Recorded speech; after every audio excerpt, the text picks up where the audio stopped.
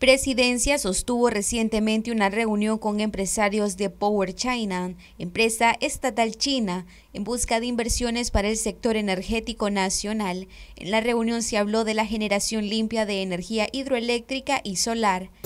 Con ellos, con la empresa eh, que encabeza el señor Ho Xiotun, esta empresa Power China, lo que se ha estado viendo, se ha estado trabajando. Ellos llevan ya varios días de estar por Nicaragua, y han tenido reuniones ellos, eh, para abordar lo que es la generación, más generación y que sea una generación también que nos dé seguridad, nos dé estabilidad, que nos haga autosuficientes en una parte de la generación, cuando menos, y estamos hablando de la energía solar,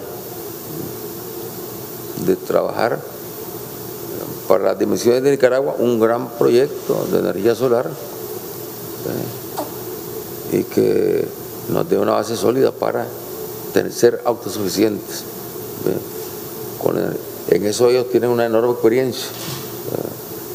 La, República Popular China, en lo que son los programas. Yo veía por la televisión china un día esto, un programa, pero de los proyectos gigantescos que tienen allá. Hablamos de energía solar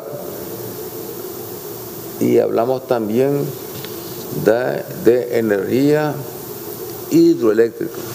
Yu Bo, consejero de la República Popular de China, dijo que esperan llegar a acuerdos comerciales con Nicaragua.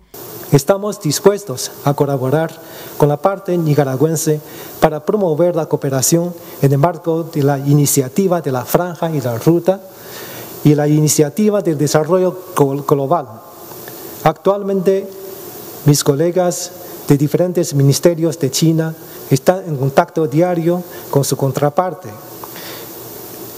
eh, liderada por el compañero Laureano, por el compañero eh, eh, Iván Costa y otros compañeros, para llegar a acuerdo de una serie de convenios de cooperaciones, incluyendo temas como facilitación del comercio, importantes proyectos de infraestructura, financiamiento, educación, etc. El motivo de esta reunión de hoy es justamente para profundizar estos temas importantes. Esperamos ver el futuro más cercano, más inversiones y presencias mayor de empresas chinas en el país para estrechar nuestros lazos económicos y comerciales, siempre beneficiando a los dos pueblos. Estoy para Noticias 12, Gabriela Solórzano.